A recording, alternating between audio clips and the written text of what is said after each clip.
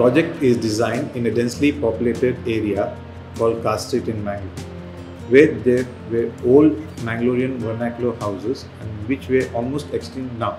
So the structure basically is designed in tropical modern style, which suits the ethnicity of the old Car Street in a modern day format.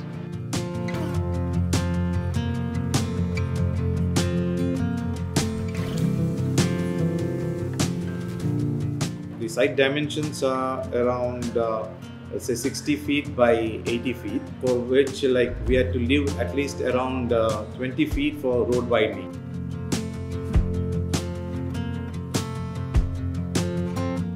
So ultimately, the the total area what we got was only 4,000 square foot, in which we could uh, build this uh, particular place. So what the uh, local municipality did was like they gave us uh, height for the building, so we could build uh, a, uh, one floor extra. The client requirement was uh, quite basic uh, when it came to the lifestyle. They just needed a 4 BHK house, but since it was their dream house, like uh, he wanted to display most of his collections in this house, and he is a collector himself. So more or less, like we could uh, give all his dreams in this particular project. So uh, the plot is a very, you know, rectangular plot with the east west direction with the road right now being 5 meter it's got a widening will be widened to 18 meters and uh, this is being north and south so we have the you know the wind from the southwest and the western front. But what has happened is since there are lots of buildings around so there are like you know you can call this as a windbreaker. The total house faces west. So this being the main entry. And we have given large balconies around the house so that you know we, uh, it breaks the rain as well as the uh, the western sun. So we have addressed to all the climatical uh, factors by you know by having large openings uh, and uh, you know uh, giving lots of light into the house. The stilt level which is the ground floor had a floor plate of like 1500 but the effective build was around uh, 695 square foot which we had uh, parking for three cars. We had a lobby space and a little foyer with the elevator uh, going on uh, to the uh, up to the terrace floor. And we had definitely you know we had landscaped all around with all tropical plants. The house is divided into like private and semi-private spaces. So in the uh, first floor we come to a grand entrance lobby where you know there's a water body and uh, which uh, on the eastern side northeastern side we have a puja room located so in first floor we just have a living dining space which is again quite open with an open kitchen and an utility space.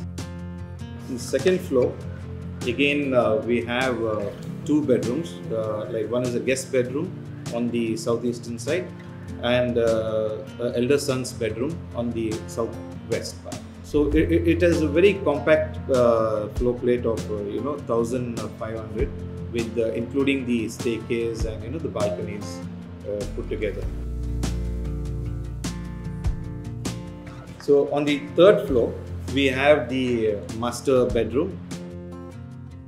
Uh, there is a living space again. Uh, we have the younger son's room. And we have an interesting uh, uh, toilet uh, which we have designed here in the master suite like it, it has a double light uh, uh, level to the entire uh, space. So where we have uh, the bathtub placed on the mezzanine part and you know the wc and the wash below that. And the terrace floor which is the, the final level it's just a space where you know people can go like later in the evening and enjoy the view around with regards to the uh, materials usage laterite is a cladding material and uh, inside we have again uh, sourced out uh, uh, the granite uh, again as a cladding part in the interior spaces again it's a locally available material For the flooring of the house, we have used Nexion tile, Botticino. The laterite what we used as a cladding was a laterite veneer. But the total uh, construction of the building was done using this laterite stone uh, because in Mangalore and around Mangalore we have these laterite quarries around and this has been happening since uh, age old time. So this particular construction technique. So the entire building was built on a laterite, uh, you know, masonry. In this particular project, like uh, we have used lots of wood uh, with regards to the balcony railings, wooden columns. The wooden columns were like uh, it was a part of client's collection. So we used all his collection, uh, you know, whatever was with him, we tried to use it in the building. The railings were made on site. Again, it was uh, natural teak wood. Again, uh, we coated with uh, PU for you know for the weathering part. So like basically, uh, we had all this floral forms uh, even to the you know the railings.